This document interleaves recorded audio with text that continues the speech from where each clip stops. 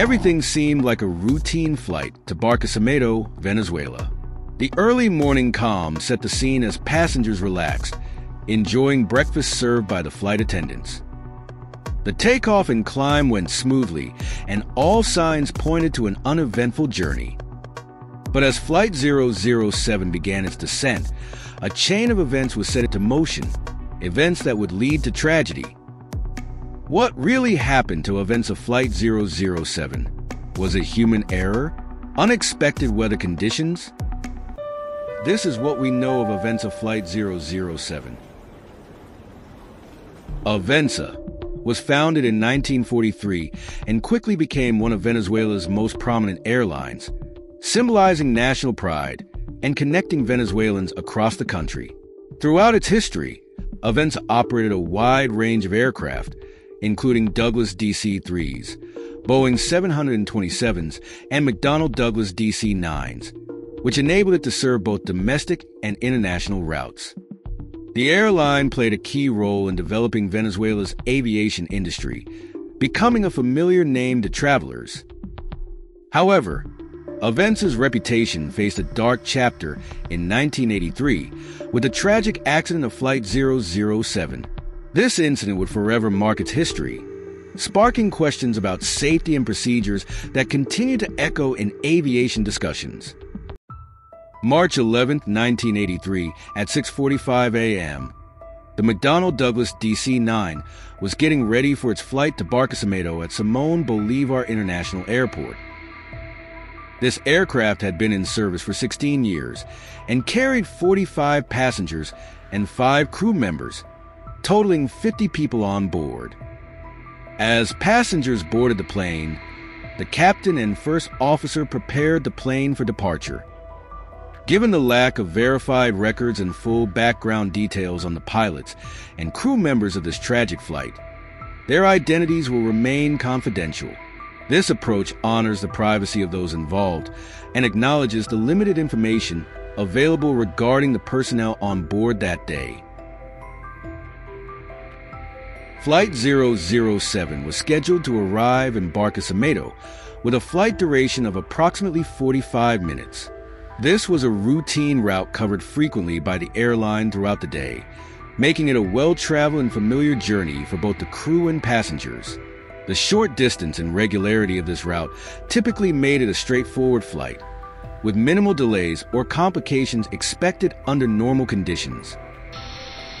When they finished the checklist for pushback and engine startup, the captain gave the order to close the doors and fasten seatbelts, while the first officer continued handling pre flight tasks. With both engines running and part of the pre taxi checklist complete, they began taxing toward the active runway designated for takeoff by air traffic control. During this time, the flight attendant went through safety instructions and final preparations with the passengers, ensuring everyone was ready for departure.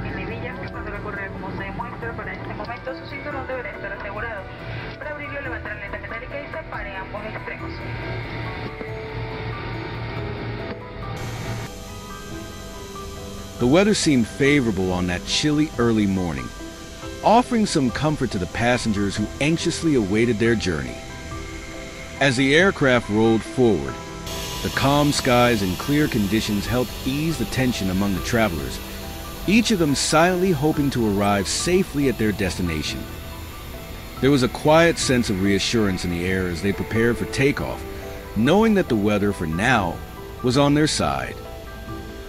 The first officer radioed the tower, requesting clearance for takeoff. Meanwhile, the captain focused on the final preparations before takeoff.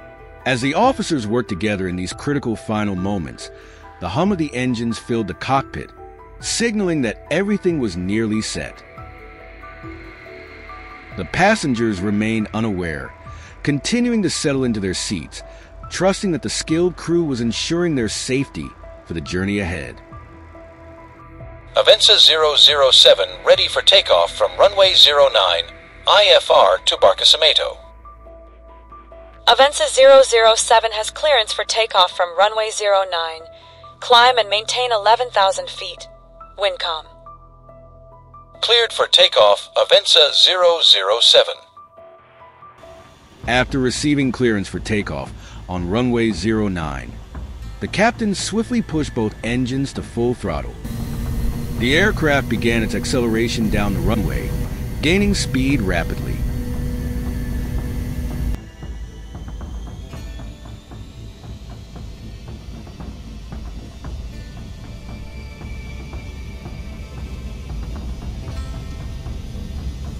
At over 200 kilometers per hour, the DC 9 smoothly lifted off the runway, gaining altitude effortlessly.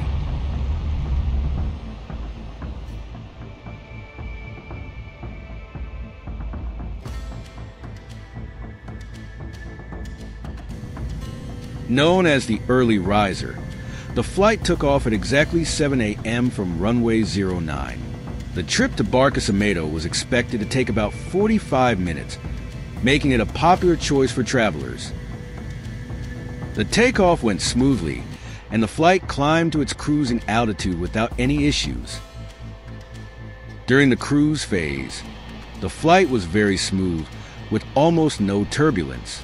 The passengers felt relaxed as the plane flew steadily through the sky. The crew began serving breakfast, and the soft noise of the plane's engines in the background was the only sound filling the cabin. Most passengers took this time to unwind, some reading a book or magazine, while others simply closed their eyes and rested. The peaceful atmosphere made it easy to forget the busy world below. The crew moved through the aisles, offering food and drinks, and the cabin buzzed with quiet conversations.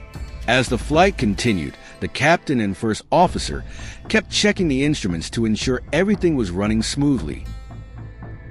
Outside, the sky was clear and calm, with only a few clouds. Inside, the crew worked quietly, keeping everything in order and ensuring the passengers were comfortable.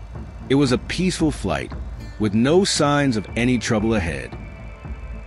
After approximately 25 minutes in the air, the captain reached out to the control tower, requesting permission to begin their descent towards the destination. This routine flight was progressing very nice, and now it was time to guide the aircraft downwards. As the captain sent the message, the crew continued their preparations for the landing, while passengers began to ready themselves for the final part of the journey. Avensa 007 requesting permission to begin descent to Barquisimeto. Avensa 007 begin descent to Barquisimeto. Clear ILS runway 27. Descend and maintain flight level 110. As the aircraft began its descent toward Barquisimeto, weather conditions quickly took a turn for the worse. What initially seemed like a routine approach was now more challenging, with heavy fog enveloping the area and significantly reducing visibility. Air Traffic Control, ATC, alerted the first officer to the deteriorating weather and low visibility around the runway, advising them to consider diverting to San Felipe, where weather conditions were reported to be much clearer. This information put the crew in a difficult position.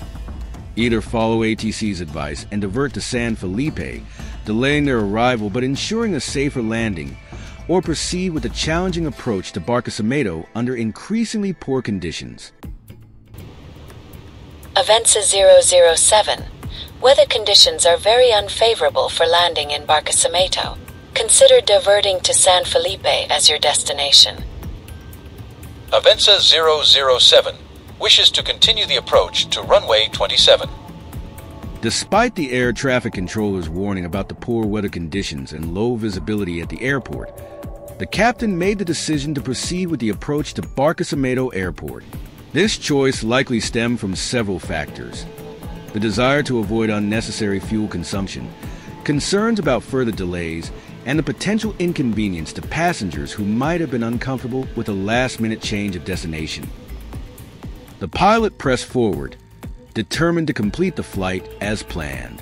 This decision, however, would ultimately prove to be a critical turning point. As all of this was unfolding in the cockpit, the passengers, unaware of the developing situation, were simply preparing for the landing at their intended destination. They were likely focused on the usual final moments of a flight, fastening their seatbelts, gathering their belongings and mentally preparing for arrival. With no clue about the growing challenges the crew was facing behind the scenes, they waited patiently for what they thought would be a routine touchdown. Little did they know that mere moments later, the situation would take a devastating turn. The calm atmosphere in the cabin was a stark contrast to the mounting tension in the cockpit, where critical decisions were being made that would soon lead to tragedy. But despite this warning, the captain decided to continue the approach, flying into thick fog. This choice would have terrible consequences. The captain ensured that the aircraft was following the correct glide path towards the runway, successfully capturing the ILS for runway 27 at Barquisimeto. The plane was able to perform the approach automatically, without issues. However, as they got closer to landing, the captain decided to disengage the autopilot and land manually. Due to the adverse weather conditions, the combination of weather factors, runway conditions, strong winds, and other contributing elements made it impossible to execute a safe landing.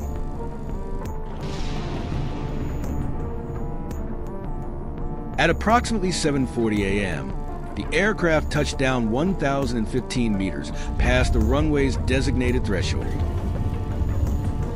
The landing was not within the expected touchdown zone, resulting in the nose gear's failure and the aircraft overrunning the runway. This caused the aircraft to veer off the landing strip, leading to a runway excursion and subsequent fuselage fracture. The front section of the plane was completely burned and the front door was crushed, trapping many inside and making evacuation difficult. The back part of the plane was also severely damaged.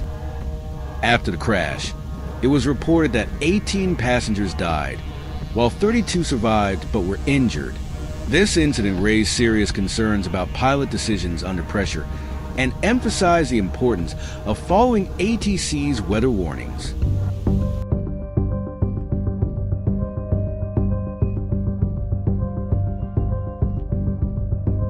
The National Transportation Safety Board report reveals that the events Avensa DC 932 aircraft operating as Flight 007, encountered a tragic situation upon arrival at Jacinto Lara International Airport in Barquisimeto. On the day of the accident, the airplane was executing an instrument landing system, ILS, approach, a system that allows for safer landings in low visibility conditions such as fog. However, as the DC 9 descended through the dense fog, it landed hard about 1,015 meters past the runway threshold, indicating it overshot the typical safe touchdown zone by a significant distance. This hard landing and runway overshoot were critical factors contributing to the incident, reflecting the challenging visibility conditions and the potential misjudgments involved in the approach. The NTSB report emphasized that the tragic accident was primarily attributed to the pilot's decision making during the landing alongside insufficient monitoring of the flight amid challenging weather conditions. The report further notes that a fire truck initially arrived at the scene, but it carried only water, lacking the specialized firefighting agents needed to effectively combat the blaze. Critical minutes passed before more suitable emergency response teams could reach the aircraft, by which time much of the plane had been consumed by fire. The aftermath was devastating, with many victims left unrecognizable, casting a shadow of grief over the entire country as it mourned this tragic loss. Also, this event highlighted the complexity of landing in limited visibility and led to important considerations regarding airport safety measures and ILS landing protocols, especially in airports with frequent weather challenges like Barquisimeto. The captain later explained that he escaped the intense flames by exiting through the cockpit window. Venezuelan authorities took over the case, with the prosecutor's office charging both the captain and the first officer with negligent manslaughter. They were each sentenced to 15 years in prison, and their pilot licenses were permanently revoked. This tragedy serves as a powerful reminder of how crucial safety and communication are in aviation. Pilots face intense pressure, especially when making critical decisions during flights. The importance of following safety protocols and heeding warnings from air traffic control cannot be overstated. Learning from incidents like this helps aviation authorities implement better training and safety measures, ensuring that pilots are prepared to handle challenging situations. As we remember the lives lost that day, we also recognize the need for continuous improvement in aviation safety. Each story teaches us valuable lessons that can prevent future accidents, reminding us that safety should always come first in the skies.